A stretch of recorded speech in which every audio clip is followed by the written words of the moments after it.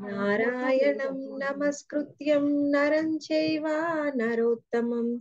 देवीं सरस्वतीं व्यासं ततो जायो मुदीरयेत्। नष्टप्रायेषु अभद्रेषु नित्यं भागवतसेवया भगवते उत्तमश्लोके भक्तिर्भवती नैष्टिके ग्रन्थराज श्रीमद्भागवतं की जय। ఓం నమో భగవతే వాసుదేవాయ. ఓం నమో భగవతే వాసుదేవాయ. ఓం నమో భగవతే వాసుదేవాయ. మనం ఇప్పుడు నాలుగో స్కందంలో మొదటి భాగంలో పంతొమ్మిదవ అధ్యాయాన్ని స్టార్ట్ చేస్తున్నామండి. ఈరోజు మొదటి శ్లోకము అందరూ భాగవతం బుక్స్ రెడీగా ఉంచుకోండి మాతాజీ. వృధ మహారాజు శతాశ్వమేధ యజ్ఞములను ఒనరించుట ఈ అధ్యాయము మొదటి శ్లోకము మైత్రేయ ఉవాచ. మైత్రేయ अदा दीक्षत राजातु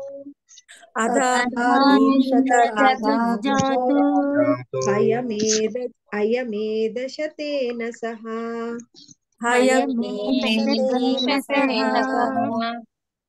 मनोवर्ते ब्रह्मवर्ते मनोक्षेत्रे। ब्रह्मवर्ते मनोक्षेत्रे। यत्र प्राची सरस्वती।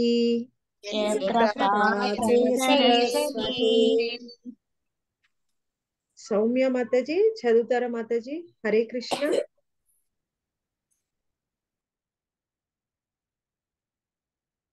ఓకే అనురాధ మాతాజీ హరే కృష్ణ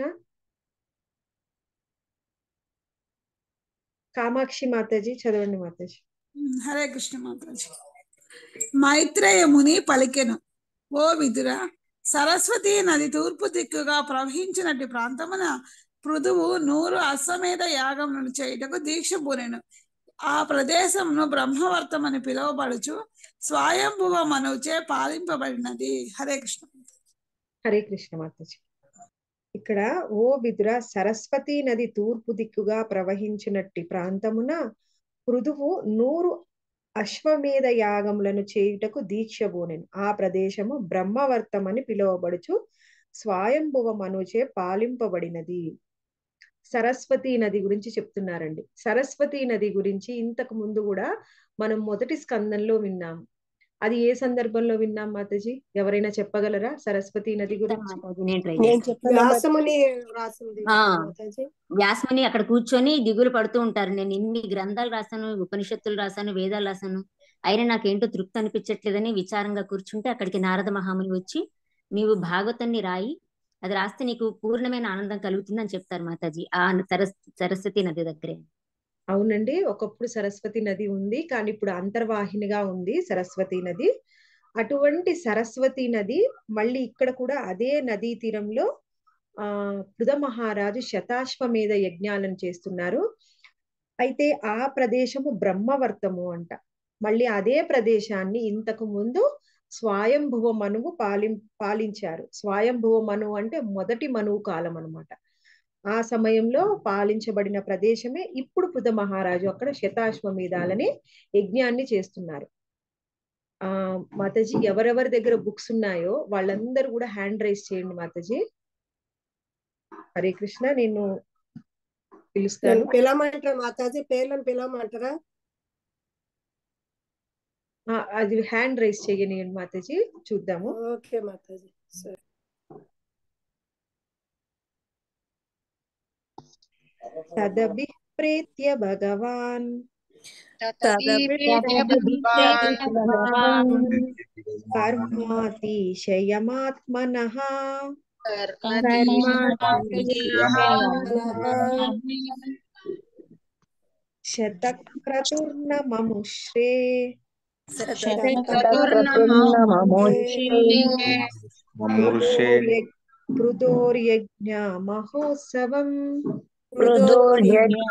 మహోత్సవం ఇంద్రవాణి మాతాజీ చదవండి మాతాజీ.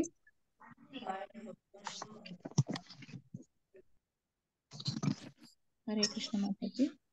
పరమశక్తివంతుడైన స్వర్గరాజు ఇంద్రుడు అది గాంచి కామ్య కర్మలలో తనను తనను పృథువు అతిశయింపగలవ గలడని భావించెను.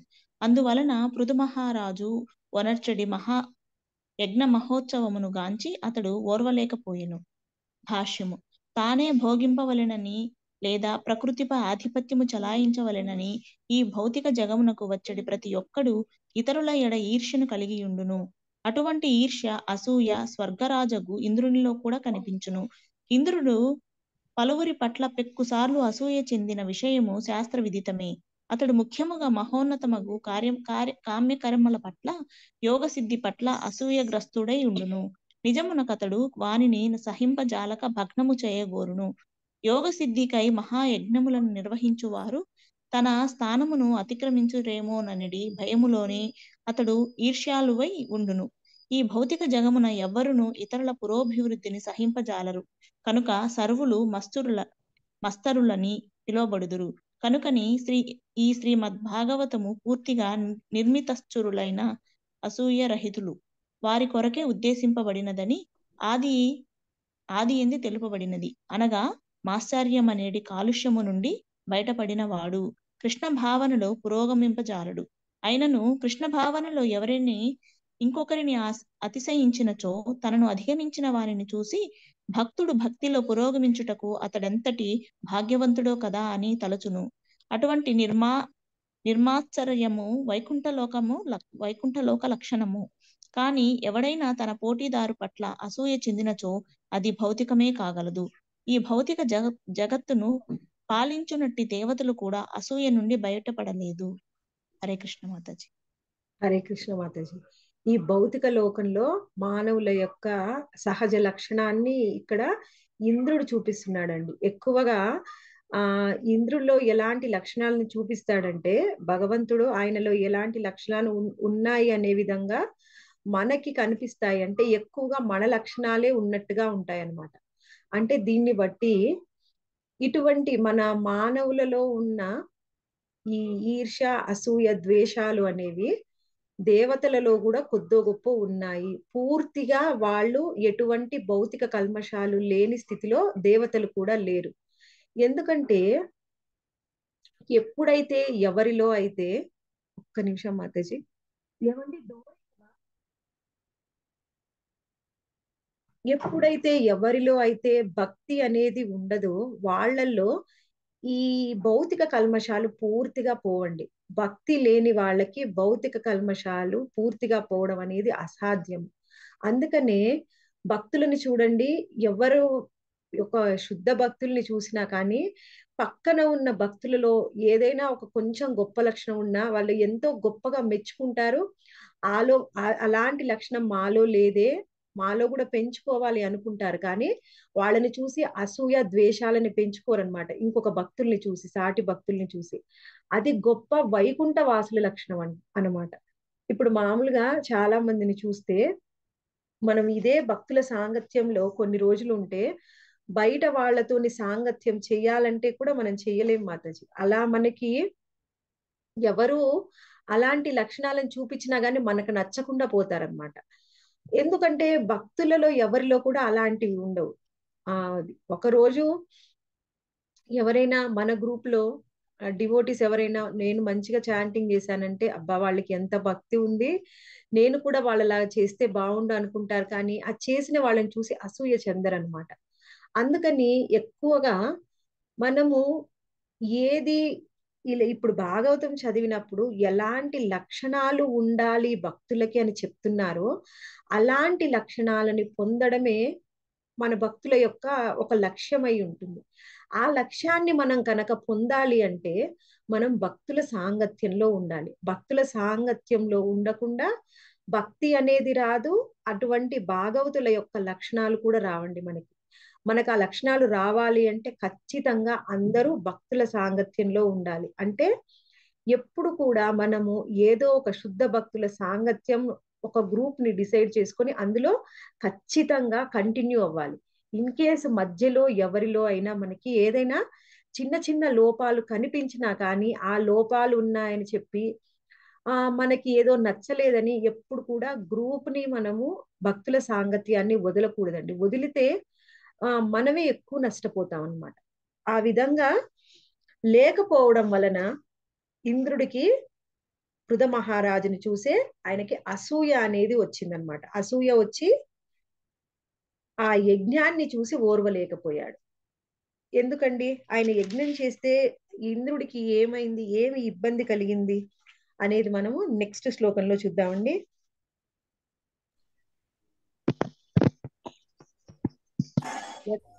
యజ్ఞాపతి సాక్షాత్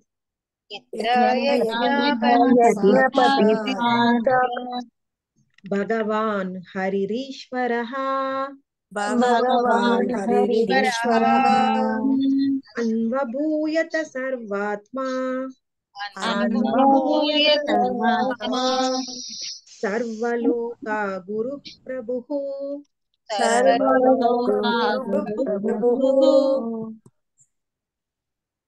మల్లీశ్వరి మాతాజీ. హరే కృష్ణ. హరే కృష్ణ మాత. దేవదేవుడకు విష్ణువు ఎల్లరి హృదయములో పరమాత్మ రూపమున నిలిచి ఉన్నాడు. అతడే సర్వలోక మహేశ్వరుడు. సమస్త యజ్ఞ ఫలభోక్త అయి ఉన్నాడు. పృథు మహారాజు నిర్వహించిన యజ్ఞములలో అతడు స్వయముగా ఉపసిద్ధుడై ఉన్నాడు. ఉండెను. చదవనా మాతాజీ. చదవండి మాతాజీ. భాష్యము. ఈ శ్లోకములో సాక్షాత్ అను పదము ప్రధానమైనది. పృథు మహారాజు విష్ణు భగవానుని శక్తావేశ అవతారము. నిజమునకు పృథువు జీవాత్మయే అయినను విష్ణు భగవాను నుండి విశేషముగా శక్తులను బడిసెను. కానీ విష్ణువు సాక్షాత్తుగా దేవదేవుడైనందున విష్ణు తత్వముల కోవకు చెందియుండెను. పృథువు మాత్రము జీవతత్వముల కోవకు చెందినవాడు. విష్ణు తత్వము భగవాను సూచించగా జీవతత్వము భగవదంశను సూచించును. భగవదంశకు ప్రత్యేకము శక్తి సంప్రాప్తమైనప్పుడు అది శక్తావేశ అవతారం అనబడును. విష్ణు భగవానుడు ఇచ్చట హరిరీశ్వర అని వర్ణింపబడినాడు. పరమ కరుణామయుడగు అతడు తన భక్తుల సమస్త కష్టములను హరించవేయును. కనుకనే అతడు హరి అని పిలువబడెను. తాను కోరినట్లు చేయగలిగిన కారణమున అతడు ఈశ్వరుడని వర్ణింపబడెను. అతడే పరమ నియామకుడు అట్టి మహేశ్వరుడు పురుషోత్తముడు. శ్రీకృష్ణ భగవానుడే సర్వధర్మమును పరిత్యజించి నా శరణ వేడుము నిన్ను అన్ని పాపముల నుండి విడిపించును భయము నొందకము అని భగవద్గీతలో పద్దెనిమిది పాయింట్ అరవై ఆరు అతడు భక్తునకు ఆదేశించినప్పుడు ఈశ్వరునిగా అంటే పరమ నియామకుడు అని తన శక్తిని ప్రదర్శించును. భక్తుడు శరణాగతుడైనప్పుడు అతని పాపములన్నిటిని దేవదేవుడు వెంటనే నశింపజేయును. అతడే ఇతడు సర్వాత్ముడని అనగా ఎల్లరి హృదయముల పరమాత్మ రూపమున నిలిచి ఉన్నాడని వర్ణింపబడినది. నిజమునకు అతడే ఎల్లరకు పరమ గురువు గురువు కూడా అయి ఉన్నాడు. శ్రీకృష్ణ భగవానుడు భగవద్గీతలో వసిగిన ఉపదేశములను మనము స్వీకరింపగలిగినచో వెంటనే మన జీవితములు జయప్రదములు కాగలవు. మానవ సమాజమునకు ఆ దేవదేవుని కన్నను వేరెవ్వరు ఉత్తమోపదేశములు నొసగగలరు. హరే కృష్ణ మాతాజీ. హరే కృష్ణ మాతాజీ. ఇక్కడ మనం ఇన్ని రోజులు చర్చించుకున్న విషయాన్ని గురించి మంచిగా డిస్కస్ చేశారండి శ్రీల ప్రభుపాదుల వారు. దేవదేవులకు విష్ణువే ఎల్లరి హృదయంలో పరమాత్మ. పరమాత్మ రూపంలో దేవదేవుడైన విష్ణువు ఆయనే క్షీరోదక సాయి విష్ణువు భగవంతుడి యొక్క కృష్ణ భగవాన్ నుంచి వచ్చిన మూడవ పురుషావతారమైన క్షీరోదక సాయి విష్ణువే ప్రతి ఒక్క జీవులో పరమాత్మ రూపంలో ఉన్నారు.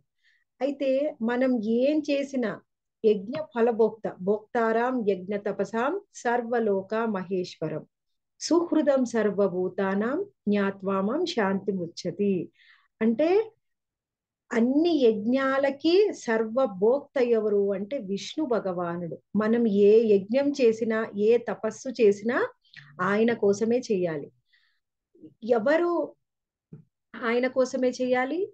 ఎవరు ఏ జీవికి లాభాన్ని ఇవ్వాలన్నా శ్రేయస్సుని ఇవ్వాలన్నా కానీ ఇచ్చేది విష్ణు భగవానుడే. ఆయనే సర్వలోకాలకి పరమేశ్వరుడు. అదే విషయాన్ని ఇక్కడ చెప్తున్నారనమాట ఆయనే భోక్త. భోక్త అంటే భోగించేవాడు. అంటే మనం ఏం చేసినా కానీ అది ఆయన ప్రీత్యర్థం ఆయన కోసమే చేస్తామన్నమాట. అందుకని ఇక్కడ చేసే పృథ మహారాజు చేసే యజ్ఞానికి భోక్త కూడా విష్ణువే. అందుకని ఆయన అక్కడ స్థితుడై ఉన్నారు అయితే మరి పుద మహారాజు కూడా విష్ణు అంశే కదా. ఆయన కూడా విష్ణు యొక్క అవతారమే కదా. అయితే దాని గురించి ఇక్కడ మంచిగా వర్ణించారండి. మళ్ళీ నేను ఒకసారి చదువుతాను. ఈ శ్లోకంలో సాక్షాత్ అను పదము ప్రధానమైనది. పృథ మహారాజు విష్ణు భగవాన్ని శక్త్యావేశ అవతారము. నిజమునకు పృథువు జీవాత్మయే. అయినను విష్ణు భగవాన్ నుండి విశేషమగు శక్తులను బడసెను. కానీ విష్ణువు సాక్షాత్తుగా దేవదేవుడైనందున విష్ణు తత్వములను కోవకు చెందియుండును. పృథువు మాత్రము జీవతత్వముల కోవకు చెందినవాడు. విష్ణుతత్వము భగవానుని సూచించగా జీవతత్వము భగవదంశను సూచించును. భగవదంశకు ప్రత్యేక మగు శక్తి ప్ర సంప్రాప్తమైనప్పుడు అది శక్త్యావేశ అవతారం అనబడును. అర్థమైంది మాతజీ? ఇక్కడ క్లియర్గా చెప్పారనమాట ప్రభుపాదుల వారు. ఆయన జీవాత్మనే పృథ మహారాజు. విష్ణుమూర్తినేమో ఆయన పరమాత్మ. పృథ మహారాజు జీవాత్మ. కానీ జీవాత్మగా ఆయన ఆ జీవించక ముందు కావచ్చు జీవించిన తర్వాత కావచ్చు అవి ఎప్పుడు శక్తిని ప్రసాదించారనేది మనకు తెలియదు. కానీ ఆయన శక్తిని ఇచ్చారు. ఆయన యొక్క శక్తిని ప్రసాదించడం వలన ఆయన ఎంతో శక్తివంతుడయ్యాడు కాబట్టి ఆయన శక్తి ఆవేశ అవతారము. శక్తి ఆవేశ అవతారము భగవంతుడి యొక్క శక్తి ఆయనలో ఉంది. కానీ స్వయంగా భగవంతుడు కాదు ఆయన కూడా ఒక జీవాత్మనే. కాకపోతే భగవంతుడు శక్తిని ఇచ్చారు. కాబట్టి ఆయన శక్తి ఆవేశ అవతారం. ఆ విధంగా పృథ మహారాజు ఆ ఇక్కడ జీవాత్మ కానీ విష్ణుమూర్తి మాత్రము విష్ణు భగవాన్ మాత్రం స్వయంగా పరమాత్మ. అందుకనే ఆయనని ఇక్కడ హరిరీశ్వర అని చెప్తున్నారనమాట అయితే ఎక్కువగా భగవద్గీతలో మనం ఒక శ్లోకం వింటాం. ఇది విన్నప్పుడు ఎవరికైనా ఈ సందేహం వచ్చిందో రాలేదో నాకు తెలియదండి. ఒకప్పుడు మాత్రం నాకు వచ్చింది సందేహం. సర్వధర్మములను పరిత్యజించి నా శరణు వేడుము అంటున్నాడు. అంటే అన్ని పనులని వదిలేసి ఆయన శరణు వేయడం అంటున్నారు. మరి ఇది కరెక్టేనా మాతజీ? ఎవరికి ఏ సందేహం ఎప్పుడు అనిపించలేదా? దీనికి ఆన్సర్ లక్ష్మణ్ రావు ప్రభుజీ చెప్తారు. చెప్పండి ప్రభుజీ. ఆ మాతాజీ. సర్వధర్మాన్ పరిత్యజ్య మామేకం శరణం వ్రజ. అహం త్వా సర్వ పాపేభ్యో మోక్షయిష్యామి మాసుజ అంటే ధర్మాలను అంటే కర్మలను వదిలిపెట్టేమని కాదు మాతాజీ. కర్మ ఫలాలను వదిలిపె ఆలోచించకుండా ప్రతిఫలం ఆశించకుండా ఈ విద్యుక్త ధర్మాలను నెరవేర్చమని మాతాజీ. కర్మఫలాలని భగవంతునికి వదిలేయాలి మాతాజీ. అంటే పనులు కర్మలు వదిలి చేయకుండా ఉండటం కాదు మాతాజీ. బాగా అర్థం చేసుకున్నారండి భగవద్గీతని. అదే చెప్తున్నాడు అనమాట సరిగ్గా అర్థం చేసుకోకుండా కేవలం అదే ఒక్క శ్లోకాన్ని చదివి అన్ని పనులు వదిలేసి నన్నే పూజించమంటున్నాడు ఈయనేం దేవుడు అనే వాళ్ళు కూడా ఉంటారనమాట కొంతమంది మహానుభావులు అందుకని భగవంతుడు ఏదైనా ఒక మాట చెప్తే దాని ముందు కాంటెక్స్ట్ ఏంటి అనేది తెలుసుకోవాలి. తెలుసుకోకుండా గనక అర్థం చేసుకుంటే ఇందులో విపరీత అర్థాలు కూడా వస్తాయన్నమాట. కృష్ణ భగవాన్ ఎప్పుడు చేసే పనిని వదిలిపెట్టమలేదు చేసే పని యొక్క ఫలితాలని నాకు అర్పించు అని మాత్రమే చెప్పారు. ఆ విధంగా ఇక్కడ కృష్ణ భగవానుడు చెప్పాడు ఆ ఆయనే ఈశ్వరుడు ఆయనే భోక్త కాబట్టి మనము ఏం చేసినా ఆయనకే అర్పించాలి. మళ్ళీ ఇక్కడ పృథ మహారాజు కూడా ఆయన యజ్ఞానికి భోక్తగా ఆయననే అర్చిస్తూ ఉన్నారనమాట నెక్స్ట్ శ్లోకం అండి. అన్వితో బ్రహ్మ శర్వాభ్యాం. అన్వితో బ్రహ్మ సర్వాభ్యాం లోకపాలై సహానుగై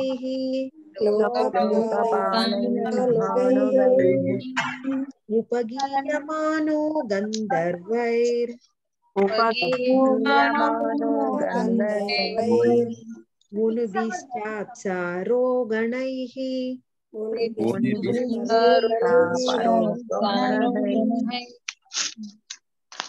హరే కృష్ణ అనుపమ మాతాజీ చదవండి మాతాజీ హరే కృష్ణ మాతాజీ. విష్ణు భగవానుడు యజ్ఞస్థలిలో ప్రత్యక్షమైనప్పుడు బ్రహ్మ శివుడు మరియు అనుచార గణమును కూడి లోకపాలురు ఆ దేవ ఆ దేవదేవునితో పాటు అరుదించిరి. ఆ విధముగా దేవదేవుడు ప్రత్యక్షకము కాగా గంధర్వులు మునులు అప్సరసలు అతనిని కీర్తించిరి. హరే కృష్ణ మాతాజీ. హరే కృష్ణ మాతాజీ. విష్ణు భగవానుడు యజ్ఞస్థలికి ప్రత్యక్షమైనప్పుడు ఇంకా అక్కడికి దేవి దేవతలు కూడా వచ్చారండి. అక్కడ బ్రహ్మ శివుడు మరియు ఆయన అనుచర గణం అందరు కూడా వచ్చారు. కూడి లోకపాలురు ఆ దేవదేవునితో అనుదించిరి. ఆ విధముగా దేవదేవుడు ప్రత్యక్షము కాగా గంధర్వులు మునులు అప్సరసలు అతనిని కీర్తించిరి. అంటే కేవలము ఆయన ఆ విష్ణు భగవానుడు అక్కడ సూక్ష్మ రూపంలోనే కాదు స్థూల రూపంలో అందరికి దర్శనం ఇచ్చారండి అక్కడ.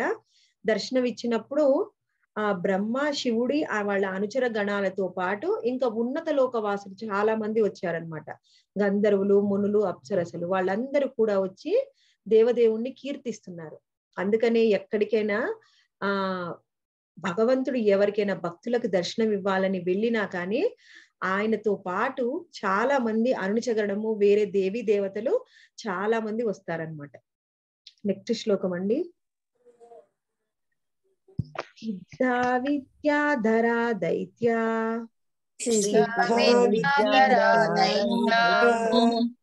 దానవ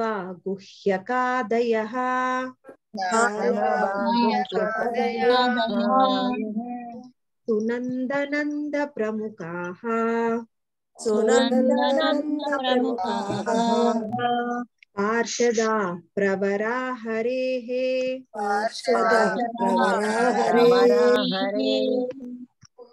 అమృత మాతాజీ చదవండి మాతాజీ. మాతాజీ భగవానుడు సిద్ధగణములను విద్యాధరులను దైత్యులను దానవులను యక్షులను గుడి ఉండెను. ద- మంద సునందాది ముఖ్య పార్షదులు కూడా అతనితో పాటు ఉండిరి. హరే కృష్ణ మాతాజీ. హరే కృష్ణ మాతాజీ. ఇక్కడ భగవానుడు కేవలము దేవాది దేవతలతోనే వచ్చాడా అని అనుకోవచ్చు మనము. ఇంకా ఉన్నత లోక వాసులైన వాళ్ళలో సిద్ధగణాలు విద్యాధరులు దైత్యులు దానవులతో కూడా వచ్చారనమాట యక్షులు కూడా. ఈ యక్షులు కూడా ఈ దానవుల యొక్క లక్షణాలు ఎక్కువగా ఉంటాయండి. వాళ్ళతో పాటుగా అంటే అన్ని లక్షణాలు ఉన్న వాళ్ళు ఎవరిని కూడా భగవంతుడు తృణీకరించట్లేదు. దైత్యులని దానవుల్ని కూడా స్వీకరిస్తున్నారనమాట వాళ్ళతో కూడా ఆ కూడి అక్కడికి వచ్చారు. వాళ్ళతో పాటుగా బ్రహ్మదే బ్రహ్మ మానస పుత్రులైన సనక సనందాది మునులు కూడా వచ్చారు. అంటే వీళ్ళతో పాటుగా భగవంతుడి యొక్క ముఖ్య పార్షదులు కూడా అక్కడికి వచ్చారనమాట వాళ్ళందరినీ తీసుకొని మృత మహారాజుకి దర్శనం ఇవ్వడానికి అక్కడికి భగవంతుడు స్వయంగా వచ్చారు. కపిలో నారదో దత్తో యోగేశ సనకాదయ.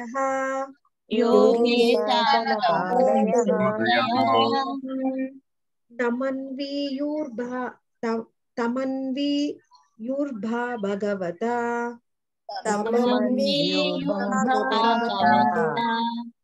ఏ చ తత్వే వనోత్సుకాః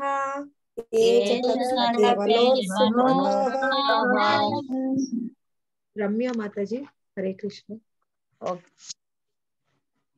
హరే కృష్ణ మాత భగవత్ సేవలో నిత్యానురక్తులైన భాగవతులు కపిలుడు నారదుడు దత్తాత్రేయుడు వంటి మునులు యోగీశ్వరులకు సనకాదులు విష్ణువుతో పాటు ఆ యజ్ఞములలో పాల్గొనిరి. హరే కృష్ణ. భగవత్ సేవలో నిత్య ఆసక్తులైన ఎవరండి? భాగవతులు అంట కపిలుడు నారదుడు దత్తాత్రేయుడు వంటి మునులు యోగీశ్వరులకు సనకాదులు విష్ణువుతో పాటు ఆ యో ఆ యజ్ఞంలో పాల్గొనిరి అంటున్నారు. అంటే భాగవతులు అన్నారు. భాగవతులు అంటే ఎవరండి? హరే కృష్ణ ఎవరు చెప్తారు? భాగవతులు అంటే ఎవరు? భగవత్ భక్తులు మాతాజీ. భగవంతుడి భక్తులు. అంతేనా మాతాజీ? ఇంకా ఏమైనా ఉన్నాయా? లక్షణాలు భాగవతులు భగవంతుని కీర్తించేవారు. వైష్ణవులు మాతాజీ. వైష్ణవులు. వైష్ణవులు. అంటే భగవద్గీత భాగవతాన్ని చదివేవాళ్ళు మాతాజీ. భగవంతుని సేవకే అందరికి చెప్పేవాళ్ళు మాతాజీ. అందరికి భాగవతం భగవత్ భాగవతాన్ని గురించి అందరికి వాళ్ళు ప్రచారం. చెప్తూ ఉంటారు భాగవతం. ఓకే. ఇంకా ఎవరన్నా పాయింట్ చెప్తారండి ఏదన్నా? భగవంతుడి సేవకే వినియోగించబడి ఉంటారు మాతాజీ వాళ్ళు కూడా. దేవాది దేవుని పుత్రులు కూడా దేవాది దేవుడి అంశాలు మాతాజీ అంటే ఆయన నుండి వచ్చినటువంటి వాళ్ళు. ఓకే. అంటే అందరం ఆయన నుంచే వచ్చాం మాతాజీ? అంటే నారదుడు ఆయన కొడుకు కదా మరి ఆ, ఆ, అది కపిల భగవానుడు. అంటే ఆయన అంశాలే కదా మాతాజీ అవును ఇంకా గురు? పరంపరలో ఉండే వచ్చిన వారు. ఓకే. ఇక్కడ కపిలుడు నారదుడు దత్తాత్రేయుడు వంటి మునులు. చూడండి చాలా మందికి ఆ దత్తాత్రేయుడు అంటే ఎవరు అనే కొంచెం సందేహాలు ఏవైనా ఉండొచ్చు. ఆయన కూడా ఆ కపిలుడితోని నారదుడితోని అంటే ఆ భగవంతుడి యొక్క ఒక అంశం అన్నమాట. మనం దత్తాత్రేయుడి గురించి ఇంతకు ముందు స్కందం మూడో స్కందంలో వచ్చిందండి. ఆయన బ్రహ్మ విష్ణు మహేశ్వరుల యొక్క ఒక రూపం. అత్రి మహాముని ఆయన తపస్సు. చేశారు. అత్రి కి బ్రహ్మదేవుడు ఆయన అత్రి మహాముని జన్మించగానే ఆయనకి ఇన్స్ట్రక్షన్ ఇచ్చారనమాట నువ్వు వెళ్ళి ఆ సంతానాన్ని వృద్ధి చెయ్యి అని. ముందుగా ఆయనని భగవంతుడిని కీర్తించమని చెప్తే ఆయన వెళ్ళి భగవంతుడి కోసం తపస్సు చేస్తారనమాట ఆ తపస్సు చేసినప్పుడు ఆయనకి తెలియదు భగవంతుడు ఎలా ఉంటారు అని. ఆయనకి తెలిసింది ఈ ప్రకృతే. ఈ ప్రకృతిని చూసి ఈ ఈ మొత్తము దీనిని నడిపించే వాళ్ళు ఎవరో ఆయనే భగవంతుడై ఉంటారు అని అనుకొని వాళ్ళ కోసం ధ్యానిస్తారనమాట అయితే ఈ ప్రకృతిలో యొక్క ప్రతి కార్యంలో కూడా ఈ బ్రహ్మ విష్ణు మహేశ్వరుల ముగ్గురి పాత్ర కూడా ఉంది. అందుకని వాళ్ళు మళ్ళీ ఇంకా దేవీ దేవతలు అందరూ కూడా వాళ్ళ పాత్ర కూడా ఉంది. అందరూ కలిసే ఈ సృష్టిని నడిపిస్తున్నారు. అందుకని వాళ్ళందరూ కలిసి ఆయన ముందు ప్రత్యక్షమయ్యి వాళ్ళందరి అంశగా దత్తాత్రేయుడు వాళ్ళకి జన్మనిస్తారనమాట ఆ విధంగా దత్తాత్రేయుడు మునులు యోగీశ్వరులు కపిలురు కపిలుడు మళ్ళీ నారదుడు భాగవతులు. అంటే భాగవతులు అంటే భగవంతుడికి ఇష్టమైన వారు. భాగవతంలో ఉండే భక్తులు ఏ విధంగా ఉంటారో వాళ్ళని అనుసరించేవారు. ఇంకా భగవంతుడు తప్ప ఇంకా అన్యము ఎరుగని వారు. భగవంతుణ్ణే ఆయన్నే దేవాది దేవుడుగా భావించేవారు. వీళ్ళన్ని ఇలాంటి లక్షణాలన్నీ భాగవతులకు ఉంటాయండి. వాళ్ళందరూ కలిసి అక్కడికి వచ్చారన్నమాట నెక్స్ట్ సెవెన్ శ్లోకం అండి. ఎత్ర ధర్మాధుగా భూమి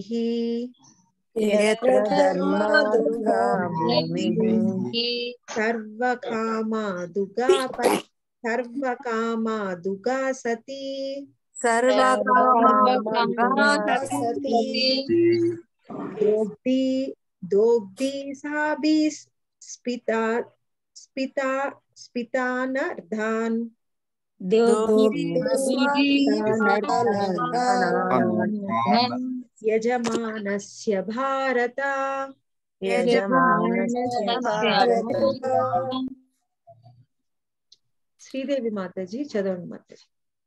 హరే కృష్ణ మాతాజీ. ఓ విదురా ఆ మహాయజ్ఞమున ధరణి క్షీరమునిచ్చు కామధేను వలె కాగా యజ్ఞముచే సమస్త జీవ జీవిత అవసరములు తీరినవి.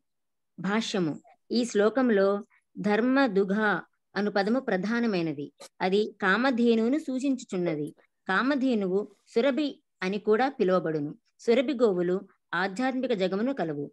బ్రహ్మ సంహిత ఎందు తెలుపబడినట్లు శ్రీకృష్ణుడు ఆ సురభి గోవులను కాచుచుండెను. సురభి గోవు నుండే ఎప్పుడంటే అప్పుడు పాలు పితకవచ్చును.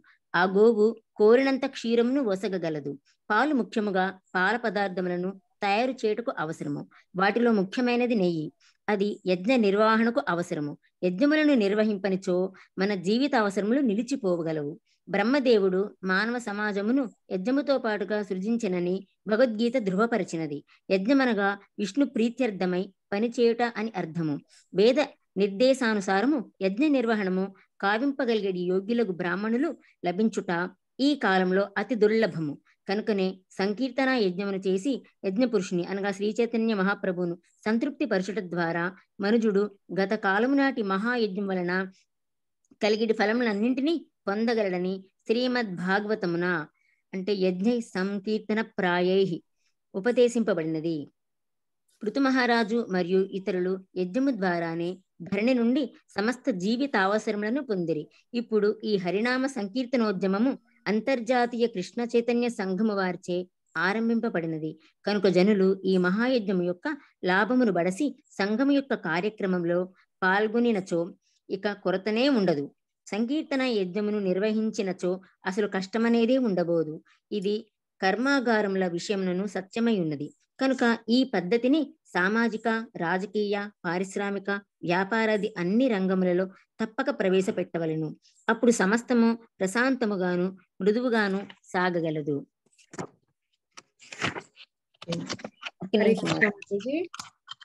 ఇక్కడ ముఖ్యంగా ఈ శ్లోకంలో అందరూ మ్యూట్లో. ఉండండి మాతాజీ. హరే కృష్ణ.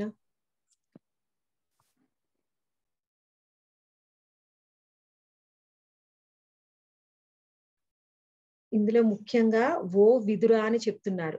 విదురా అని ఎవరు అంటున్నారు మాతాజీ ఇక్కడ? కొత్త వాళ్ళు చెప్పాలి మాతాజీ. పాత మెంబర్స్ కాదు. విదురా అని ఎవరు సంబోధిస్తున్నారు? మైత్రేయుడు మాతాజీ. మైత్రేయముని ఓ విదురా అంటున్నారండి. అయితే ఆ అని సంబోధిస్తూ ఈ మహాయజ్ఞంలో క్షీరాన్ని ఇచ్చే కామధేను వలె కాగా యజ్ఞముచే సమస్త జీవితావసరములు తీరినవి. అంటే ధరణి ఎలా ఉంది అంటే క్షీరాన్నిచ్చే కామధేనులా ఉంది. అంటే ఏది కావాలంటే అది భూమి నుంచి ఎలా పొందుతామో కామధేనువు ఎలా ఎంత పాలని కావాలంటే అన్ని ఇస్తుందన్నమాట. ఆ పాలు అనేవి ఆవు పాలు ఎంత ముఖ్యమో కృష్ణ భగవానుడు మనకి చూపిస్తున్నారనమాట ఇంతకు ముందు కృష్ణ కాన్షియస్లోకి రాకముందు కూడా అందరికీ కృష్ణుడు అంటే కామన్గా అందరూ ఇష్టపడతారు. నాకు అప్పుడు అనిపించేది ఎందుకు కృష్ణ భగవానుడు గోవుల్ని కాసేవాడి లాగానే వచ్చారు? అని నాకు చాలా సార్లు అనిపించింది అనమాట అయితే ఇక్కడ చూస్తే మనకు అర్థమవుతుంది ఎందుకు? ఏదైనా ఇంకొక వృత్తిని ఎంచుకోవచ్చు కదా కృష్ణ భగవానుడు కావాలనుకుంటే. రాజు కాకపోయినా ఒక వైశ్యుడు కావచ్చు పెద్ద పెద్ద బిజినెస్లు చేయొచ్చు ఇంకా ఏదైనా చేయొచ్చు. వాళ్ళు కూడా వైశ్యులే. కానీ ఒక గోవులు కాసే వాళ్ళలాగా ఆయన ఎందుకు వెళ్ళి గోవుల్ని కాశాడు? గోవుల్ని మేపడం అంటే ఇప్పుడు మనకి తెలిసి అది ఎంత తక్కువ అండి. అప్పట్లో అది అంతగా గొప్పగా మనకి చూపిస్తున్నాడు కృష్ణుడు చేశాడు కాబట్టి అంత గొప్పగా చూస్తున్నాం. మామూలుగా గోవుల్ని కాయడం అంటే అది ఇప్పుడు సమాజంలో అతి తక్కువైన వృత్తి అన్నమాట. అది మరి కృష్ణ భగవాన్ని ఎందుకు చేసి చూపించారు అంటే గోవుల యొక్క ప్రాధాన్యాన్ని గోవు పాల యొక్క విశిష్టతని మనందరికి చెప్పడం కోసము ఆయన్ని గోవుల్ని కాశాడు. గోవు పాలని తిన్నాడు. ఆ వెన్నని తీసుకున్నాడు. మళ్ళీ ఆ నెయ్యి అనేది ఎంత ముఖ్యమో అని మన ఆరోగ్యానికి చెప్తున్నాడు. దాంతో ఆ యజ్ఞాలు నిర్వహించడమే కాకుండా ఇప్పుడు చూడండి మాతాజీ మనం ఏదైనా ఒక ఆహార పదార్థం తయారు చేసుకుంటే అది ఏ ఆహార పదార్థమైనా కొంతకాలానికి అది చెడిపోతుంది. అది ఎంత తయారు చేసిన పికిల్స్ ఉంటాయి చూడండి. సంవత్సరం నిల్వ ఉండే పచ్చళ్ళైనా కొంతకాలానికి ఖరాబ్ అవుతాయి కానీ నెయ్యి కనుక కరెక్ట్గా మనం తయారు చేసి దానిని ఒక జాడీలో గాని ఒక సీసాలో గాని భద్రపరిస్తే అది ఇంకా ఖరాబ్ అవ్వడం అనేది ఉండదన్నమాట. అలాగే ఉంటుంది స్వచ్ఛంగా ఉన్న నెయ్యి. అంటే అది ఒక లాస్ట్ సోర్స్ అన్నమాట. ఏదైనా ఒక ఆహారానికి చివరిది చూడండి ఎన్ని రూపాలు మారితే మనకి నెయ్యి అనేది వస్తుందో. అటువంటి నెయ్యి అది అందుకనే నెయ్యి యొక్క ఇంపార్టెన్స్ కృష్ణ భగవాన్ మనకు చెప్తున్నారు. ఇంకా అది ఎప్పటికీ ఖరాబ్ అవ్వదు. దాని ద్వారానే యజ్ఞాన్ని నిర్వ నిర్వహించవచ్చు దానితోనే మనం అందరం మన ఆరోగ్యాన్ని కూడా కాపాడుకోవచ్చు అన్నమాట. అది మనకి చెప్పాలనుకుంటున్నారు కృష్ణ భగవాన్. ఇంకొక విషయం ఏంటంటే ముఖ్యంగా ఇక్కడ యజ్ఞాలని విష్ణు ప్రీత్యర్థమే చేయాలి. విష్ణువుని సంతృప్తి పరచడం కోసము ఆ నెయ్యిని ఉపయోగించడం ఎంత ముఖ్యమో కూడా మనకి తెలియజేశారు. అయితే ఇప్పుడు మనకంత స్వచ్ఛమైన నెయ్యి దొరకడం లేదు. అని మనము యజ్ఞం చేయకపోతే మరి ఎలా? మన కలియుగానికి సరిపడ యజ్ఞము హరే కృష్ణ మహామంత్రాన్ని జపించడమే. సంకీర్తన యజ్ఞమే ఈ కలియుగ యజ్ఞము అని మనకి చైతన్య మహాప్రభు చెప్పారు. అయితే ఇప్పుడు వీళ్ళు యజ్ఞం ద్వారా అన్ని పొందుతున్నారు. మనం కావాలి అన్ని సార్లు చూస్తాం కదండి టీవీలలో కూడా యజ్ఞం చేయగానే యజ్ఞంలోంచి వాళ్ళకి ఏం కావాలంటే అవి బయటకు వస్తున్నాయి. మరి సంకీర్తన యజ్ఞం చేస్తే మనకేం లాభం అండి? మనకేం వస్తాయి? ఆ సంకీర్తన యజ్ఞం చేయడం వలన వాళ్ళు యజ్ఞం చేస్తే యజ్ఞంలోంచి ఆ ద్రౌపది ఆ దృష్టద్యుమ్నుడే పుట్టారు. అంటే యజ్ఞంలోంచి ఏం కావాలంటే అవి వాళ్ళకి బయటకు వచ్చాయి. మరి మనకే వస్తాయి సంకీర్తన యజ్ఞం చేస్తే? అంటే దానికి చెప్తున్నారు ప్రభుపాదుల వారి భాషల్లో మీరు సంకీర్తన యజ్ఞం చేస్తే మీకు ఏది కావాలంటే అది దొరుకుతుంది. మీకు ఏది అవసరమో సమయానుకూలంగా భగవంతుడు అన్ని కోరికలు తీరుస్తాడు. చాలా మందికి ఆ మనము కృష్ణ కాన్షియస్లోకి వచ్చినా రాకపోయినా క్లాసులు వినేవాళ్ళు ఎవరైనా కానీ భగవంతుడికి కాసేపు సమయం ఇవ్వండి అంటే వాళ్ళకి సమయం లేదు అనుకుంటారనమాట ఎందుకంటే వాళ్ళకి భగవంతుడి నామస్మరణ యొక్క విలువ తెలియదు. తెలియక వాళ్ళు అన్ని పనులలో దీనికి మేము టైం ఇవ్వలేకపోతున్నాము అనుకుంటారనమాట ఒకసారి మీరు సరిగ్గా నామస్మరణ కనుక చేస్తే మీ జీవితంలో అనేక సమస్యలు తీరుతాయండి. మీ ఆరోగ్యము మంచిగా ఉంటుంది మీ జీవితంలో అనేక సమస్యలు తీరుతాయి. ఆటోమేటిక్గా మీకు సమయం సమయం అనేది వస్తుంది. కాకపోతే ఇప్పుడు మన కర్మానుసారము ఎన్నో జన్మల నుంచి మనము కొంత ఆ కర్మని మూటగట్టుకున్నాము అది మన మీద అది ఎంతో మందంగా ఆ పేరుకున్న ఆ జిడ్డులాగా మట్టిలాగా మనని పట్టుకొని ఉంది. ఈ కల్మశాలని తొలగించాలంటే అది ఒక్క రోజుతో సాధ్యం కాదండి. కొంత సాధన అవసరం. అందరూ కూడా ఓపిక చేసుకుని ప్రతిరోజు హరే కృష్ణ మహామంత్రాన్ని జపిస్తే మనలో కల్మషాలు పోతూ ఉంటే మీ జీవితంలోనూ మళ్ళీ మీ శరీరంలోనూ ఉన్న సమస్యలన్నీ ఒక్కొక్కటిగా తొలగిపోతాయండి. తప్పకుండా దానికి కొంచెం ఓర్పు అనేది అవసరం.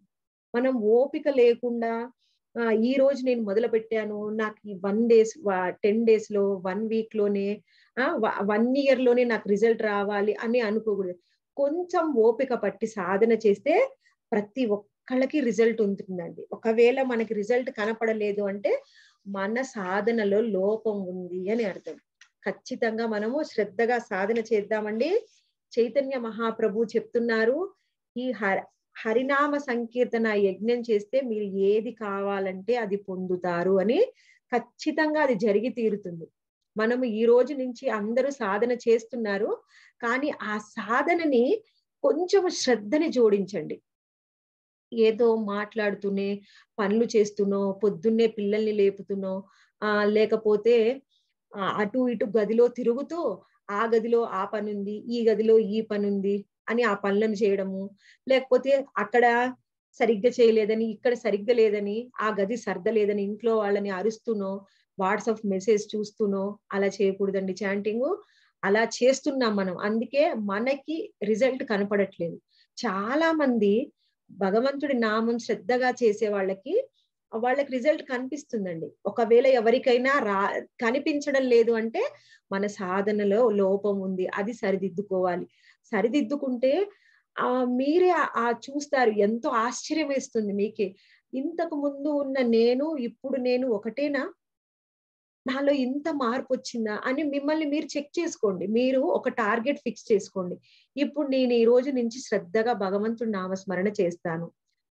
ఒక కనీసం ఒక రెండు మూడు నెలలు మూడు నెలలు సమయం ఇవ్వండి. అంతకు ముందు మీకు ఇప్పుడు మీలో ఎంత మార్పు వచ్చిందో మీరే ఒక గ్రాఫ్ తీసుకొని పాయింట్ అవుట్ చేసుకోండి. మీ లక్షణాలలో ఏ అవలక్షణాలు తగ్గిపోయాయి? ఏ ఏ విధంగా మీలో క్వాలిటీ పెరిగింది? ఆ మీ ఆలోచన విధానంలో ఎలాంటి మార్పు వచ్చింది ఏదైనా క్లాస్ విన్నప్పుడు మీకు ఎంత అర్థం అవుతుంది మీరు ఎలా టైం మేనేజ్మెంట్ చేసుకుంటున్నారు? అని మీలోనే మీకు మార్పు అర్థం అవుతుంది దానికి కొంచెము మనం హోంవర్క్ అనేది చెయ్యాలన్నమాట. మనం ఏ హోంవర్క్ చేయకుండా ఏది చెయ్యకుండా మనకు తెలుసు కదండి పిల్లలు ఎల్కేజీ కూడా పాస్ అవ్వలేరు. మన పిల్లలు ఎల్కేజీ పాస్ అవ్వడం కోసము మనం ఏం చేస్తామంటే భగవద్గీత క్లాసుని పక్కకు పెట్టి వాళ్ళ హోంవర్క్ చేపిస్తాం. అంతే కదండి? లేకపోతే మరి వాళ్ళు పాస్ అవ్వాలి కదా. అంటే ఎల్కేజీకే అంత కష్టపడతాము. కానీ ఎన్నో జన్మల నుంచి పోగు చేసుకొని మనం తెచ్చుకున్న కర్మల్ని తీసేయడానికి మనకి ఓపిక ఉండదు. ఒకటే రోజు. ఈ రోజు ఆ భగవద్గీత క్లాస్లో జాయిన్ అయితే ఎయిటీన్ డేస్ లోపలనే మనకు అన్ని జరిగిపోవాలి అంటే అలా జరగదండి. మన సాధన అనేది అవసరం. మీకు మీరే టైం ఫిక్స్ చేసుకోండి. మీకు మీ సాధనలో ఏమైనా మీకు ఇబ్బందులు అయితే మీరు మీ లీడర్ని మీ శిక్షా గురుని మీరు ఆ సంప్రదించవచ్చు మాతాజీ. ఓకే హరే కృష్ణ అండి. ఎయిత్ శ్లోకానికి వెళ్దాము.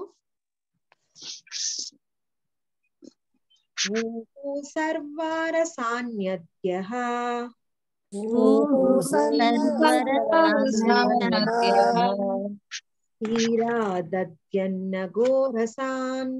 క్షీరాదద్యన్న తరవో భూరి వర్ష్మాణః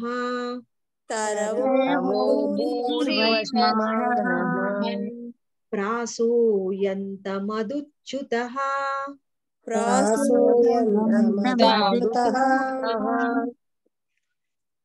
హరే కృష్ణ మాతాజీ ఎవరు చదువుతారు? లక్ష్మణ్ రావు ప్రభుజీ మీరు చదువుతారా? నేను చదవనా మాతాజీ? హరే కృష్ణ. ఆ, మాతాజీని చదవమండి పర్లేదు. ఓకే నెక్స్ట్ శ్లోకం మీరు చదవండి ప్రభుజీ. అలాగే మాతాజీ.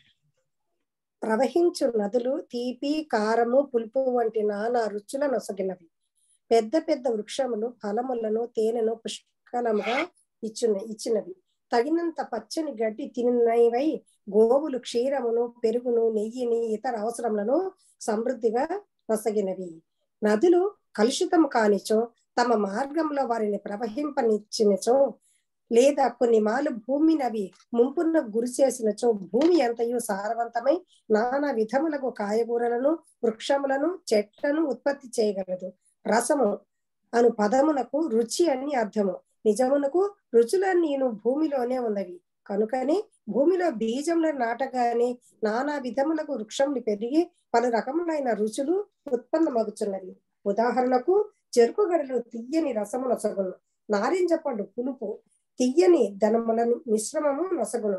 అదే విధముగా అనాస పండు వంటివి కలవు. ఇక మిరపకాయలు కారమును కలిగించును. అనగా భూమి ఒకటే అయినను వివిధ రకములకు విత్తనముల వలన నానా విధములకు రుచులను కలుగుచున్నవి. నేనే అన్ని ప్రాణులకు బీజ ప్రదాతను అని శ్రీకృష్ణ భగవానుడు ఏడు పాయింట్ పదిలో పలికి ఉన్నారు. ఆయన అన్ని ఏర్పాట్లు చక్కగా కవింపబడియే ఉన్నవి. ఇదే విషయము ఈ శోపనిషత్తులో పూర్ణ విధం అని చెప్పబడినది. జీవుల సర్వావసరములను ఉత్పత్తి చేయుటకు అన్ని ఏర్పాట్లు భగవంతునిచే చేయబడియే ఉన్నవి కనుక ఆ యజ్ఞ పురుషుని సంతృప్తిపరచు విధానమును జనులు నేర్పవలసి ఉన్నది నిజమునకు జీవుడు భగవదంశ కనుక భగవాను సంతృప్తిపరచుటయే అతి ముఖ్య కార్యక్రమం కాగలదు. కనుకనే జీవుడు తన సహజ స్థితిని అనుసరించి కర్తవ్య పాలనము చేయి రీతిలో వ్యవస్థ అంతయు ఏర్పాటు చేయబడినది. ఆ విధముగా చేయనిచో జీవులు కష్టముల పాలు కావలసింది. ఇది ప్రకృతి నియమము. తరవో భూరి వర్ష్మాణ అను పద సమూహము విస్తారముగా పెరిగినట్టి భారీ వృక్షములను సూచించను.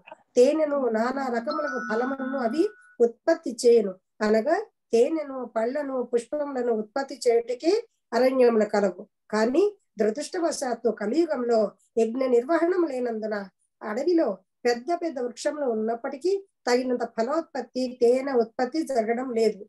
అనగా ప్రతి తీయును యజ్ఞం పైన ఆధారపడినది. ఇక ఈ యుగమున యజ్ఞ నిర్వహణకు సర్వశ్రేష్టమగు విధానము ప్రపంచమంతటను సంకీర్తనోద్యమమును విస్తరింపజేయటయే. హరే కృష్ణ.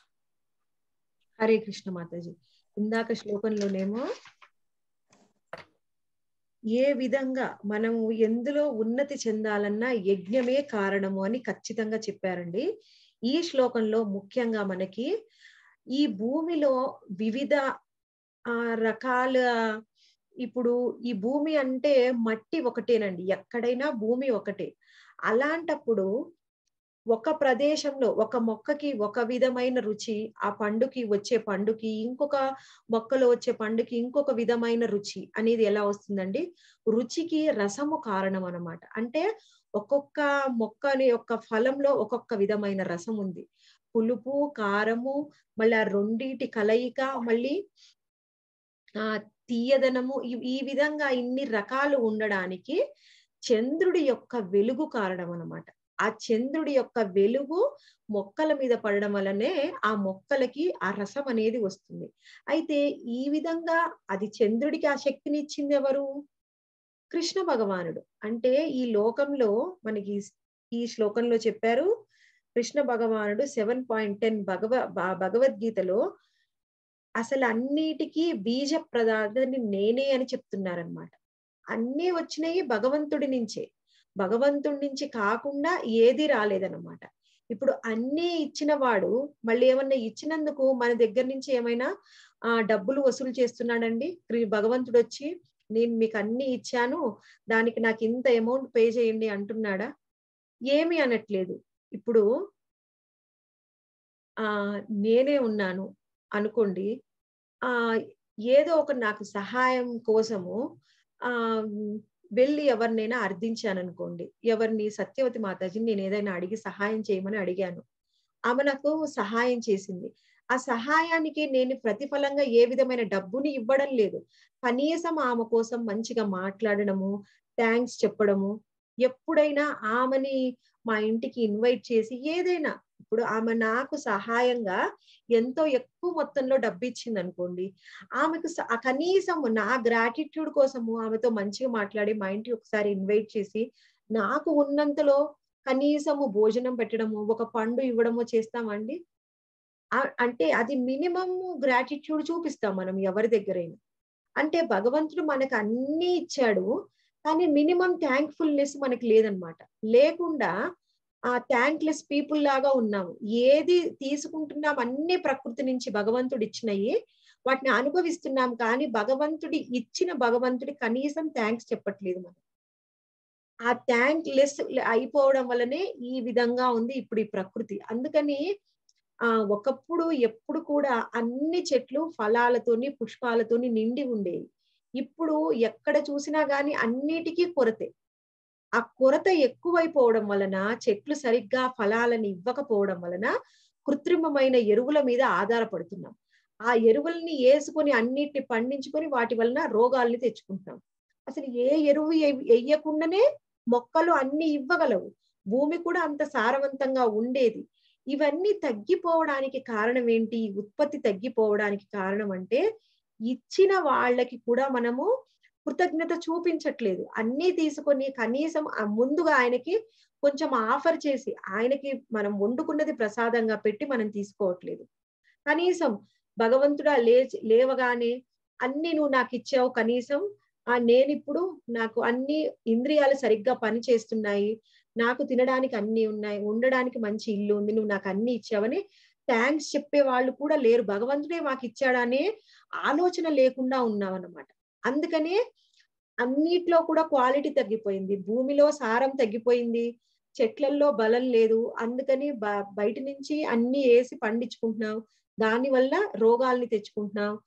ఏది చూస్తేను మన కోసమే వాడుకోవడం వలన మనము సంతృప్తి పడట్లేదు. మన ఇంట్లో వాళ్ళు కూడా సంతృప్తి పడట్లేదు. ఎప్పుడైతే మన దగ్గర ఉన్న దానితోని భగవంతుణ్ణి సంతృప్తి పరచడానికి ప్రయత్నం చేస్తామో ఏమవుతుందండి? భగవంతుడిని సంతృప్తి పరచడానికి ప్రయత్నం చేస్తే భగవంతుడు సంతోషిస్తాడు. నాకేం వస్తుంది? అనుకోవచ్చు. ఎప్పుడైనా ఒకసారి మాతాజీ మీరు ఏదైనా సరే ఏమి ఆశించకుండా ఎవరికైనా సహాయం చేసి చూడండి. మనము సహాయం పొందడంలో కంటే సహాయం ఇవ్వడంలో ఎవరికైనా సహాయం చేయడంలో ఎక్కువ ఆనందం ఉంటుంది. అదే ఆనందం భగవంతుడికి ఇచ్చినప్పుడు కూడా మనకి ఆటోమేటిక్గా కలుగుతుంది అనమాట ఎవరికైనా ఏమి ఆశించకుండా మనం ఆ భగవంతుడికి మనము గనక ఇస్తే ఎంతో ఆనందాన్ని పొందుతాం. ఆ ఆనందం పొందినప్పుడు ఈ భౌతికమైన వస్తువులని ఉపయోగించుకోవడం వలన వచ్చే ఆనందం చాలా తక్కువమై తక్కువైనది. అది చాలా నీచ స్థాయిలో ఉంది ఆ ఆనందం అని మనకు అర్థమవుతుంది అనమాట ఉన్నతమైన ఆనందం ఏంటో తెలిస్తేనే మనకి ఈ తక్కువలో ఉన్న ఆనందం యొక్క విలువ ఏంటో అప్పుడు అర్థమవుతుంది. అసలు మనకి తెలియలేదనుకోండి ఇప్పుడు మనం ఏమనుకుంటాం? ఒకప్పుడు ఆ టెన్త్ క్లాస్ మ్యాథ్స్ చేస్తే కూడా చాలా ఈజీగా ఉండేదండి. ఇప్పుడు పిల్లలకి ఇంజనీరింగ్లో మ్యాథ్స్ కూడా టెన్త్లో నైన్త్లోనే ఇచ్చేస్తున్నారు. ఆ బుక్స్ చూస్తే అర్థమవుతుంది ఓ ఇంత టఫ్ ఉంటుందా వాళ్ళ మ్యాథ్స్ ఐసిఎస్సి సిలబస్ అని. అంటే మనకి తెలియకపోతే మనం చదివిన చదివే గొప్ప అనుకుంటాం అన్నమాట కానీ వాళ్ళని చూస్తే ఓహో ఇంకా ఇంత టఫ్ ఉందా అని అర్థమవుతుంది. అంటే అసలు మనకి తెలియకపోతే ఆ నాలెడ్జ్ అనేది రాదనమాట. ఎందుకంటే మనకు ఉన్నత స్థాయిలో ఉన్న ఆనందం ఏంటో తెలియదు. తెలియదు కాబట్టి ఏం చేస్తున్నామంటే భౌతికమైన వస్తువుల్ని ఉపయోగించుకొని అదే గొప్ప ఆనందం అనుకుంటున్నాం. మనకి కృష్ణ భగవాను చెప్తున్నాడు నా కోసం నువ్వు కొంచెం సమయాన్ని ఇవ్వు. నువ్వు ఉపయోగించుకుని నీ కోసం తెచ్చుకున్నది నాకు సమర్పించు. అసలైన ఆనందం అంటే ఏంటో నీకు చూపిస్తున్నాను చూపిస్తాను అని భగవద్గీతలో చెప్తున్నాడు. కానీ మనము అది యాక్సెప్ట్ చేయలేకపోతున్నాం. ఎందుకంటే అది యాక్సెప్ట్ చేయడానికి కొంచెం సమయం పడుతుంది మనకి. ఎవరైతే ఇది విని వాళ్ళు యాక్సెప్ట్ చేస్తారో భగవంతుణ్ణి ఏది ఇంట్లోకి తీసుకొస్తే ఫస్ట్ ఆయనకి సమర్పించి అది ఆ ప్రసాదమే కాదండి. బట్టలు కానీ కొత్త వస్తువులు కానీ ఏది తీసుకున్నా దాని మీద ఒక తులసాకు పెట్టి భగవంతుడికి సమర్పించండి. మీకు మీ ఇంట్లో వాళ్ళకి ఆ ఇంతకు ముందు ఉన్న అసంతృప్తి అనేది ఎలా తొలగిపోయిందో కొద్ది రోజుల్లో మీకు మార్పు అనేది అర్థమవుతుందండి అందరికి. తర్వాత మీరే ఆ మా ఇంట్లో మా ఫ్యామిలీలో ఇంత మార్పు వచ్చింది అని చెప్పి మీరే మాతోని పంచుకుంటారు. అండి టైం ఎంత అయింది మాతజీ?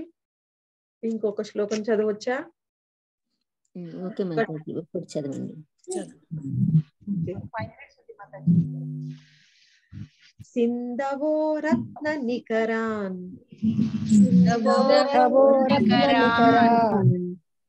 గిరయోన్నం చతుర్విధం. గిరయోన్నం చతుర్విధం. ఉపాయనము ఉపాయనము సాదృకు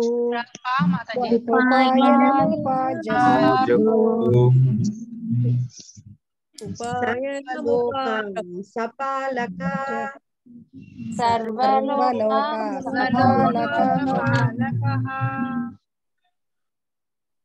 కృష్ణ హరే కృష్ణ.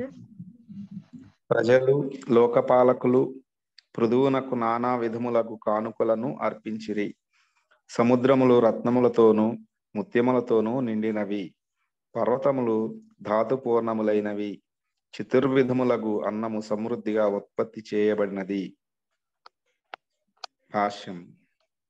ఈ శోభినిషత్తునందు తెలుపబడినట్లు జీవులందరి యొక్క అనగా మానవులేగాక జంతువులు సరీసృపములు జలచరములు వృక్షముల వంటి సమస్తము యొక్క అవసరములను ఉత్పత్తి చేయనట్టి శక్తి ఈ భౌతిక జగత్తునకు వసగబడినది. సముద్రములు ముత్యములు పగడములను విలువైన మణులను ఉత్పత్తి చేయును. నియమబద్ధముగా నుండు భాగ్యవంతుల వారిని వానిని ఉపయోగించుకొనవచ్చును. అదే విధముగా పర్వతములు ధాతుమయమై యుండును. నదులు ఆ పర్వతముల గుండా ప్రవహించినప్పుడు ధాతువులు భూమిని సారవంతం చేసి చతుర్విధములైన ఆహార పదార్థములను ఉత్పత్తి చేయును. చర్వ్యములు అనగా నన్ను తినేవి లేహ్యములు అనగా నాకి తినేవి చూష్యములు అనగా మింగేవి పేయములు అనగా త్రాగేవి అనునవే అనుననేవే ఆ నాలుగు విధములైన ఆహార పదార్థములు. మాతాజీ చదవమంటారా? చదవండి మృదు మహారాజును ఇతర లోకవాసులు తల్లోక పాలురు కూడా అభినందించిరి. ఎవ్వాని చట్టము కార్యక్రమముల వలన విశ్వములోని ప్రతి ఒక్కరూ సుఖ సమృద్ధితో వర్ధిల్లగలరో అట్టి అట్టి రాజే ఈతడని పలుకుచు వారందరూ పృథువునకు కానుకలు అర్పించిరి. సముద్రములు కేవలము మణుల ఉత్పాదనకే ఉద్దేశింపబడినవి. ఈ శ్లోకములో స్పష్టంగా తెలుపబడినది. కానీ కలియుగములో అవి కేవలము చేపలను పట్టుటకే వినియోగింపబడుచున్నవి. శూద్రులు దరిద్రులు చేపలను పట్టుటకు అనుమతింపబడినను ఉన్నత వర్ణము వారైన క్షత్రియులు మరియు వైశ్యులు మాత్రము ముత్యములు పగడములు మణులను సముద్రము నుండి తీసుకునేవారు దరిద్ర జనము టన్నుల కొద్దీ చేపలను పట్టినను వాటి విలువ ఒక్క పగడముతో లేదా ముత్యముతో సరిపోలదు.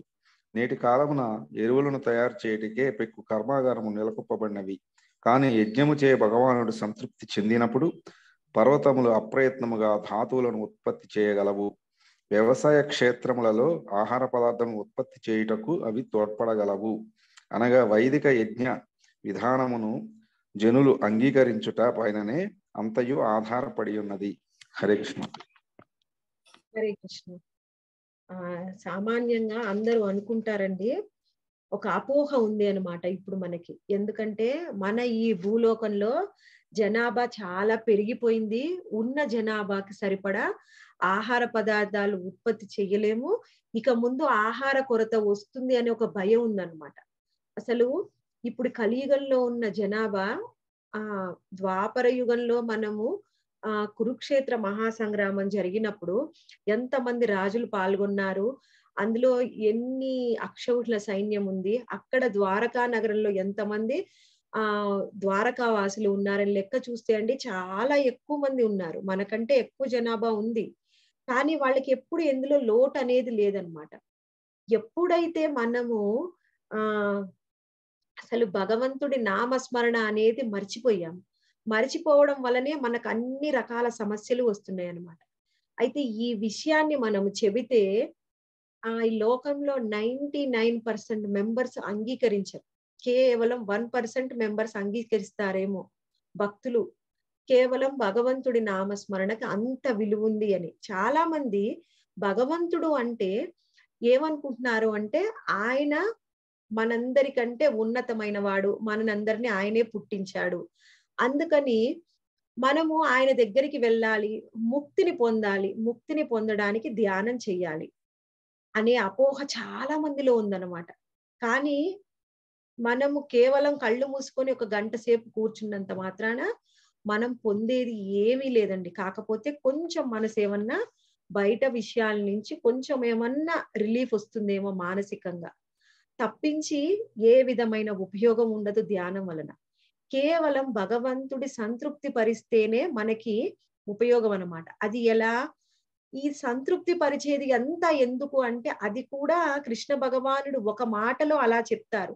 కానీ అది రిలేట్ అయ్యి అది మనకు మంచి జరిగే విషయమే అయి ఉంటుందండి ఇక్కడ మామూలుగా ఇందాక మనం చర్చించాం కదా భూమిలో సారం అనేది తగ్గిపోవడం వలన మనం ఏం చేస్తున్నాం? కర్మాగారాలు ఏర్పాటు చేసి ఎరువుల్ని తయారు చేసుకొని దాని ద్వారా పంటల్ని ఉత్పత్తి చేసుకుంటున్నాం. కానీ కరెక్ట్గా మనం యజ్ఞాన్ని నిర్వహిస్తే భూమిలో సారం పెరగటంతో పాటుగా సముద్రాలలో మళ్ళీ పర్వతాలలో ఎక్కడ చూడండి ఒక పర్వతము ఉంది అంటే దాంట్లో ఏదో ఒక ధాతువు ఉంటుంది. ధాతువు అంటే ఖనిజాలు. ఖనిజాలు అంటే మనం చూసేవి ఆ మనం చూస్తున్నాం కండి మనము బంగారము ఇనుము ఆ వజ్ర వైడూర్యాలు ఏవైనా సరే ఆ వజ్రము అంటే మాత్రం భూమిలో దొరుకుతుంది. వైడూర్యాలు అంటే ఆ ఇంకా నవరత్నాలన్నీ కూడా మనకి సముద్రం నుంచి లభిస్తాయన్నమాట. ఇవన్నీ కూడా మనం యజ్ఞం సరిగ్గా నిర్వహిస్తే ఆటోమేటిక్గా ఈ సంపద అంతా ప్రకృతి మనకిస్తుంది. భూమి నుంచి మనకు దొరుకుతాయి. మనం ఎప్పుడైతే యజ్ఞాన్ని మరిచిపోయామో అప్పుడే మనకు అన్నిటికీ కొరత అనేది మొదలైంది. ఆ కొరత ఎందుకైంది? ఎలా దీన్ని పూడ్చుకోవాలో మనకి తెలియట్లేదు. తెలియక ఏ విధంగా మనము ఒక కొత్త వంగడాన్ని సృష్టించాము? ఆ వంగడాన్ని కనుక మనము ఆ విత్తనాన్ని నాటితే తొందరగా చాలా పెద్ద పెద్దగా ఆ పళ్ళు కానీ ఇంకా ధాన్యం కానీ తక్కువ సమయంలో పెద్దగా సంవత్సరం అంతా దొరికే విధంగా ఉండే వంగడాల్ని సృష్టించుకుంటున్నాం. కానీ మనం చాలా సార్లు మనము రీసెర్చ్లోనే చెప్తారు ఆ ఈ కొత్త కొత్త వంగడాల వల్ల తినే ఆహార పదార్థాల్లో ఎక్కువ ఫలితం ఉండదు అని. మనం ఎంతసేపటికి అలానే ఆలోచిస్తున్నాం అనమాట చాలా మందికి తెలియదు యజ్ఞం యొక్క విలువ.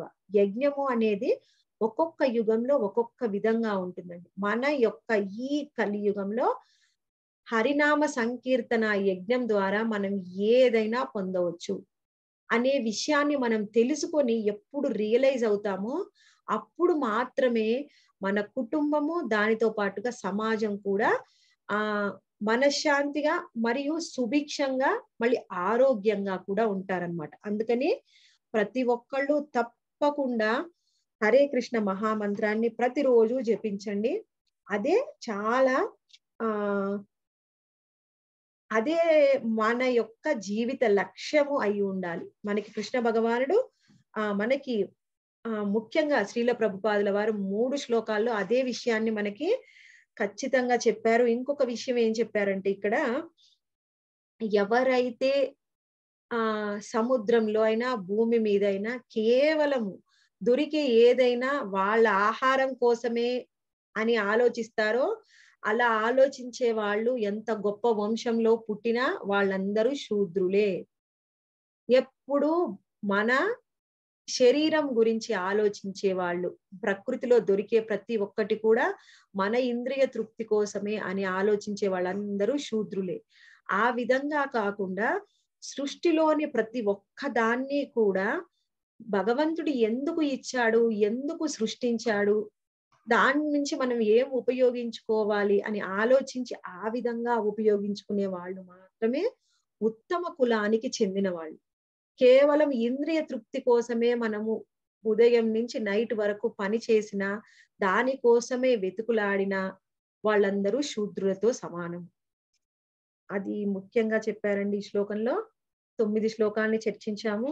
హరే కృష్ణ కామేశ్వరి మాతాజీ తొందరగా సమ్మరైజ్ చేయండి మాతాజీ. హరే కృష్ణ మాతాజీ. మాతాజీ మనం ఇవాళ కొత్త అధ్యాయం స్టార్ట్ చేసాము. దాంట్లో మైత్రేయు ఇంకా ఈ విధంగా పలుకుతా ఉన్నాడు విదురునితో. సరస్వతి నది ఒడ్డున. అంటే ఏం చేశాడు ఆయన నిన్న సమరేజ్ చేయలేదు కదా అది కూడా సమరేజ్ చేయమనండి మాతాజీ. హరే కృష్ణ మాతాజీ. నిన్న మాతాజీ చాలా డీటెయిల్గా ఎక్స్ప్లెయిన్ చేశారు. అసలు భూమి ఎంత గొప్పది అంటే ఎన్ని కావాలంటే అవన్నీ కూడా తీసుకోమని చెప్పింది. అంటే అసలు పృథ్వీ గోమాత రూపంలో వచ్చింది కాబట్టి అసలు చెప్పాలంటే గోవుకి ఒకవేళ పాలు ఇవ్వాలి అంటే దూడ దూడని చూడాలి. తనకు దూడని చూస్తే అది ఎక్కువ పాలు ఇస్తుంది. కాబట్టి భూమి నాలో ఉన్నటువంటి అన్ని తీసుకోండి అన్నప్పుడు వివిధ రకాలైనటువంటి వాళ్ళందరూ దేవతలు అంటే వేరే వేరే వాళ్ళందరూ కూడా దూడ రూపంలో వచ్చి ఆ భూమిని తొవ్వి అంటే పితకడం అంటే భూమి ద్వారా చాలా చాలా విషయాలన్నీ పొందారని తెలుసుకున్నాము. అయితే ఇక్కడ కొన్ని విషయాలు ఏంటంటే సిద్ధలోక ఆ- టైంలో ఎవరెవరు వచ్చారు అంటే ఒక సిద్ధలోక వాసులు విద్యాధర వాసులు వీళ్ళందరూ కూడా రావడం జరిగింది. అంటే సిద్ధలోక వాసులకి వాళ్ళకి దూడగా వాళ్ళంటే అష్టాంగ యోగము వాళ్ళు చాలా యోగ యోగం సంబంధించిన విషయాలన్నీ కూడా భూమి ద్వారా పొందారు. అదే ధర విద్యాధర వాసులు వాళ్ళు కూడా యోగ విద్యని వాళ్ళు పొందడం జరిగింది. దీని గురించి డీటెయిల్గా నిన్న మాతజీ ఆల్రెడీ ఎక్స్ప్లెయిన్ చేశారు. అష్టాంగ యోగం అంటే ఏంటి? అసలు మనం ఎక్కడ ఒక చిన్న నాలుగు రకాలైనటువంటి యమ నియమ ఆసన ప్రాణాయామాలు మాత్రమే తెలుసుకొని మనం యోగాలో నిష్ణాతులు అయిపోయాము భగవంతుని చేరతాం అనుకుంటాము అది మనలోని ఒక మూర్ఖత్వము. కంప్లీట్గా అష్టాంగ యోగం చేయడం సాధ్యం కానే కాదు. కానీ వాళ్ళు మాత్రము ఈ ఒక మాధ్యమాన్ని పెట్టుకొని భూమి ద్వారా కొన్ని సిద్ధులన్నీ కూడా తీసుకున్నారు. సిద్ధులు కూడా వీళ్ళు విద్యాధరులు కూడా ఉన్నత లోకవాసులు వీళ్ళందరూ కూడా భూమి ద్వారా ఇవన్నీ పొందడం జరిగింది అని తెలుసుకోవడం జరిగింది. అదే విధంగా కిన్ కింపురుషులు వాళ్ళు కూడా ఉన్నత లోకవాసులు వాళ్ళు కూడా ఒక మాయ యమధానుడు అంటే వాళ్ళు ఒక దానవుణ్ణి దూడగా చేసుకొని వాళ్ళంది కూడా ఇట్లాంటి మాయకు సంబంధించినవన్నీ కూడా పొందడం జరిగింది. అంటే ఎప్పుడు కావాలంటే అక్కడ ప్రత్యక్షం అవుతారు ఎప్పుడు కావాలంటే అప్పుడు వెళ్ళిపోతారు. అలాంటివి అవన్నీ భూమి ద్వారా కింపురుషులందరూ ఇది పొందారు. అదే విధంగా ఇంకా వాళ్ళు సత్వగుణంలో ఉండరని మనకు తెలిసింది. వాళ్ళు ఇష్టరాజ్యంగా చేస్తారు. ఆ విధంగా కింపురుషులు కొన్ని సందర్భాలలో ఇష్టారాజ్యాన్ని సృష్టించడం కోసం కూడా ఇలాంటి వరాలు భూమితో పొందారని కూడా మేము అర్థం చేసుకున్నాము.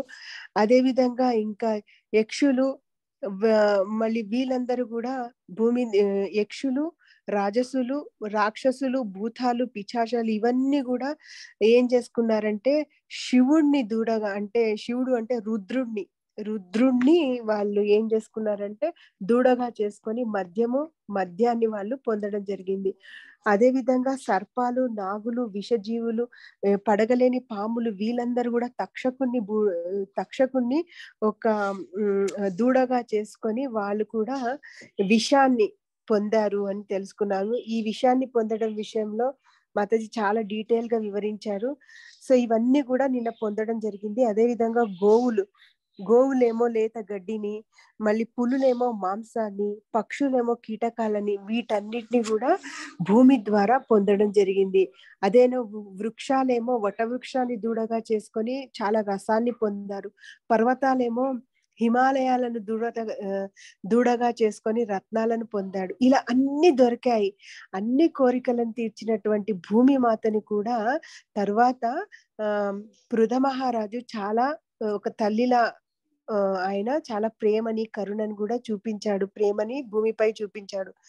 అదే విధంగా ఇవి ఈ విషయాలన్నీ మనం నిన్న తెలుసుకోవడం జరిగింది. అదేవిధంగా పృథు మహారాజు యొక్క గొప్పతనాన్ని తెలుసుకున్నాము. ఆయన ఒక తండ్రిలా మొత్తం సమస్త ఆ సమస్త దేశాన్ని అంటే అప్పుడు ఉన్నటువంటి మొత్తాన్ని పరిపాలించాడు కాబట్టి ఆయన గ్రామాలని పురాలని నగరాలని దుర్గాలని ఇతర గోశాలని ఇవన్నిటిని కర్షల కర్షకుల కోసం సపరేట్ గ్రామాలని వీటన్నిటిని కూడా కొండ ప్రాంతాలన్నిటిని కూడా సమతలం చేసి అన్ని రకాలుగా ఇచ్చాడనమాట ఆయన. అన్ని అంతే అంత గొప్పవాడు అంత ధర్మం తెలిసిన వాడు ప్రజలను అంత బాగా చూసుకున్నాడు పృథు మహర్షి అని మనం నిన్నటి వరకు తెలుసుకున్నాము. ఇవాటి శ్లోకంలో ఇవాళ మనం ఏం నేర్చుకున్నామంటే అలాంటి ఒక గొప్ప రాజైనటువంటి పృత మహారాజు శతాశ్వమేధాన్ని చేయడానికి పూనుకోవడం జరిగింది. అయితే ఆయనే దేవుడు కదా ఆయనకు మళ్ళీ ఇంకా విష్ణువుని ప్రసాద ప్రసాదించుకొని చేయడము యజ్ఞం చేయడము అంటే మాతాజీ క్లియర్గా ఎక్స్ప్లెయిన్ చేశారు. కృత మహారాజు శక్తి ఆవేశ అవతారం. అంటే ఆయన జీవాత్మ కానీ ఆయనకి అన్ని రకాలైనటువంటి ఆ శక్తిని భగవంతుడు ప్రసాదించాడు అని తెలుసుకున్నాము. అదే విధంగా ఇక్కడ ఆయన ఈ శతాశ్వమేధం చేయడానికి తెలుసుకున్నటువంటి ఇంద్రుడు అది ఆయనకి నచ్చలేదనమాట ఎందుకంటే ఏ విధంగా ఆయన ఇంద్రస్థానాన్ని తీసుకుంటాడో ఏనో భయంతో ఆయన కూడా ఓర్వ లేకుండా దీన్ని ఆపడం ఎలా అనేది ముందు ముందు తెలుసుకుంటాము.